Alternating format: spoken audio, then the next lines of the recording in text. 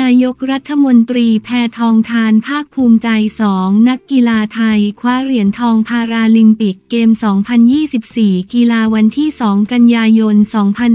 2567 11นาฬิกา29 นาที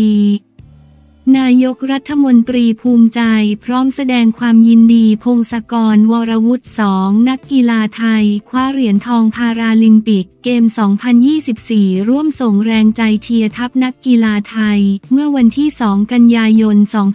2567 นางสาวแพทองธารชินวัตรนายกรัฐมนตรี โพสต์ข้อความผ่านแอปพลิเคชัน X แสดงความยินดีกับนักกีฬาพาราลิมปิกเกม 2024 ว่า ความภาคภูมิใจของพวกเราคนไทยสองเหรียญทองแรกในพาราลิมปิกเกม 2024 ครั้งนี้จากคุณพงศกรแปรยอในกีฬาวิวแชร์เรซซิ่ง ประเภท 400 เมตร และจากคุณวรวุฒิแสงอัมพาในกีฬาบ็อกเซียประเภทบุคคล BC2 ขอแสดงความยินดีด้วย ขอแสดงความยินดีกับนักกีฬาหลายท่าน ที่ประสบความสำเร็จคว้าเหรียญกลับมาให้ประเทศไทย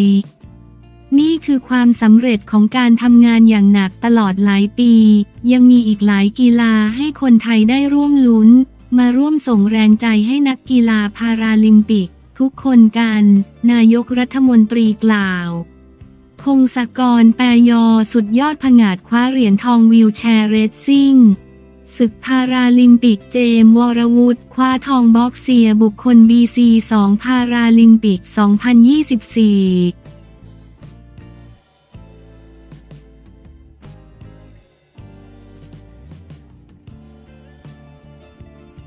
320 เสียงมีแน่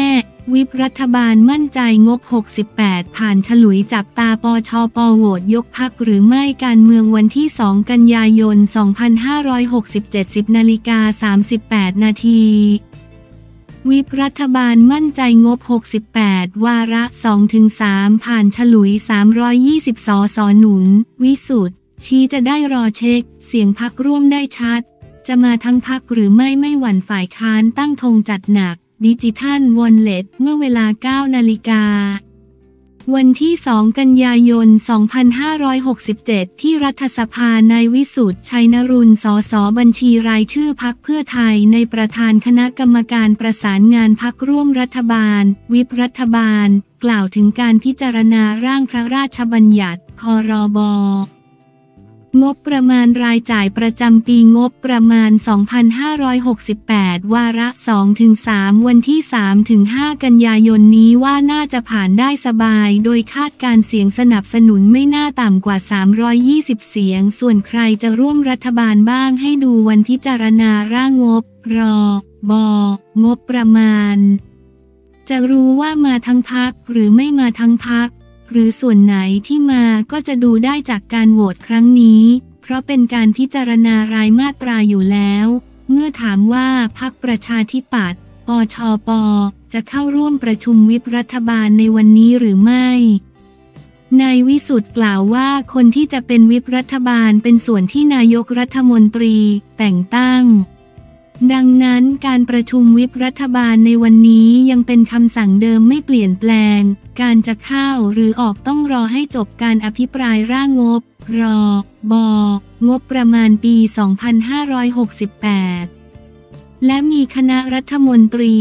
คณะรัฐมนตรี ใหม่ก่อน จากนั้นนายกรัฐมนตรีจะแต่งตั้งวิปรัฐบาลอีกครั้ง เมื่อถามว่ากังวลหรือไม่ที่ฝ่ายค้านจะถล่มดิจิทัลวอลเล็ต ในการพิจารณาร่างงบ รอ บองบประมาณปี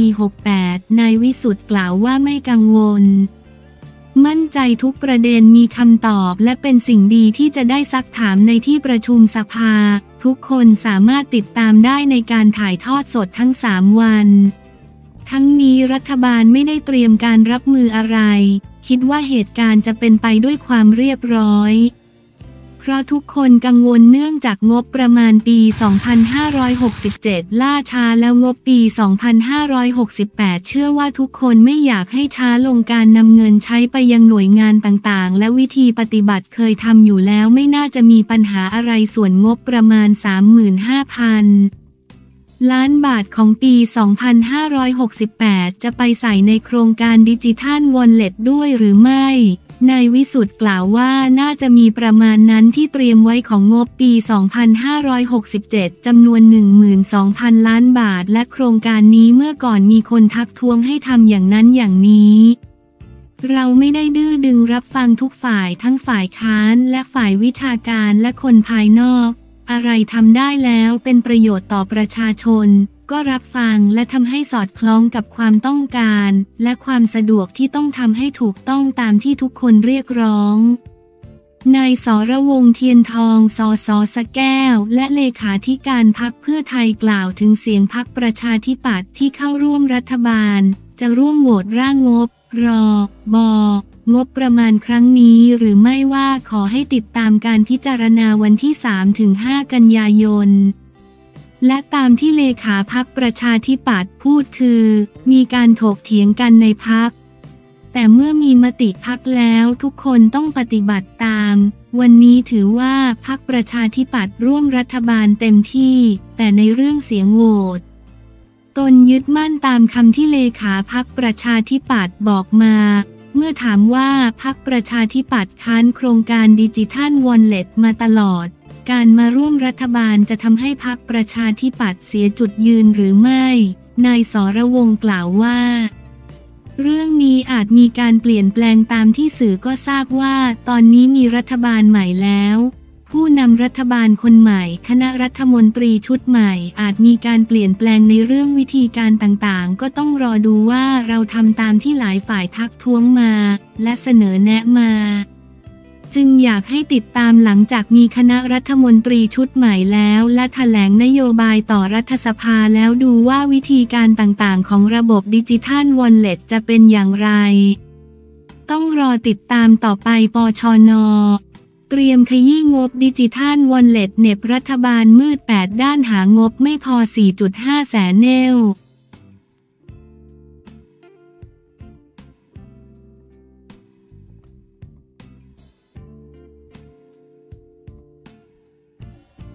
รถถูกไรเดอร์ชนท้ายแต่ต้องไปผ่าตาก่อนกลับมาคู่กรณีขัดสีให้ใจอ่อนไม่เอาเรื่องเด่นออนไลน์วันที่ 2 กันยายน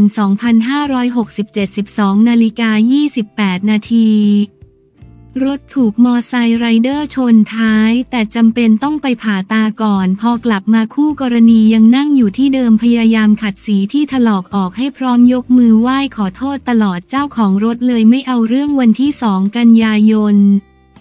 2567 นายสิทธิศักดิ์รงฤทธิไกรเจ้าของ TikTok ช่องไอแซคนิวทัมเปิดใจกับข่าวสดออนไลน์ หลังจากเจอไรเดอร์ขับรถชนท้ายเป็นจังหวะเร่งรีบที่ตัวเองจะต้องไปผ่าตัดตาพอดีจึงคิดว่าไรเดอร์จะต้องหนีแน่ ๆ แต่สุดท้ายเจอเรื่องราวสุดพีคนายสิทธิศักดิ์กล่าวว่าเมื่อเวลาประมาณทุ่มครึ่งของวันที่ 31 สิงหาคมที่ผ่านมาตนจำเป็นต้องไปผ่าตัดที่โรงพยาบาล ตอนนั้นรถติดไฟแดงอยู่แถวประดิพัฒน์จู่ๆ ก็มีรถมอเตอร์ไซค์ชนท้ายรถของตนอย่างแรง เมื่อลงไปดูก็เห็นเป็นไรเดอร์สองคันทราบว่าขับมุดตามกันมาทำให้ไรเดอร์คนที่อายุ 19 ปี เสียหลักมาชนรถของตนส่วนไรเดอร์อีกคนหนึ่งก็บอกว่าตัวเองไม่ผิด ตนจึงให้ไรเดอร์คนที่ชนเรียกประกันมาแต่อีกฝ่ายบอกว่าไม่มีประกันและในตอนนั้นตนก็รีบแล้ว เพราะใกล้จะถึงเวลาหมอนัดผ่าตัดตาแล้ว ตนจึงได้บอกไรเดอร์คนที่ชนว่าให้ขับตามไปที่โรงพยาบาล เพราะว่ามันเป็นระยะทางใกล้ๆไรเดอร์อีกคนหนึ่งจึงบอกว่าเดี๋ยวผมไปส่งของก่อนแล้วจะไปเป็นพยานให้ ซึ่งในระหว่างนั้นตนก็ถ่ายป้ายทะเบียนรถแล้วก็ขอเบอร์โทรศัพท์ติดต่อไรเดอร์ทั้งสองคนเอาไว้ ระหว่างทางที่ตนขับรถมาที่โรงพยาบาล ตนก็เห็นว่าไรเดอร์คนชนก็ขับตามมาตลอดเมื่อมาถึงที่โรงพยาบาลตนก็บอกว่าลองหาอะไรขัดดู ถ้าขัดออกตนก็ไม่ได้มีปัญหาอะไร ไม่ได้จะเอาเรื่อง แต่ขอผ่าตัดตาก่อนแล้วอีกหนึ่ง ชั่วโมงค่อยคุยกัน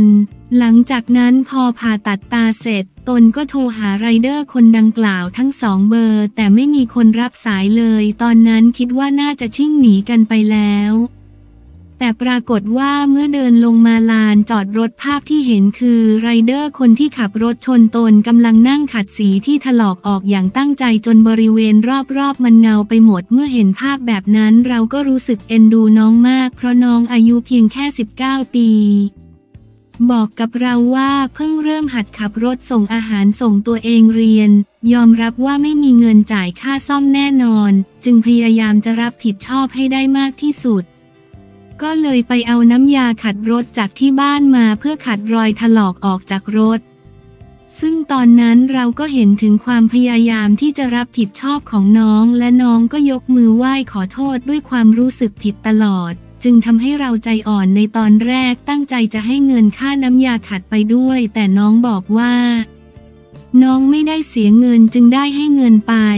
และทันทีที่บอกว่าจะไม่เอาเรื่อง น้องก็ยกมือไหว้ขอโทษเราพร้อมกับพูดด้วยน้ำเสียงสั่นจนเราร้องไห้ตาม ทั้งนี้ตอนแรกตนตั้งใจจะไม่ได้เอาเรื่องตั้งแต่แรกอยู่แล้ว แต่ที่ทำแบบนี้เพราะต้องการให้เขาเห็นว่าเมื่อมาชนรถคนอื่นแล้วก็ควรที่จะแสดงความรับผิดชอบและได้เตือนน้องไปด้วยว่าให้ขับรถอย่างระมัดระวัง รถเสียยังซ่อมได้ แต่ถ้าหากน้องบาดเจ็บหรือมีอุบัติเหตุที่แรงกว่านี้ มันคงไม่ใช่เรื่องที่ดี จึงอยากให้เรื่องนี้เป็นบทเรียนของน้องด้วย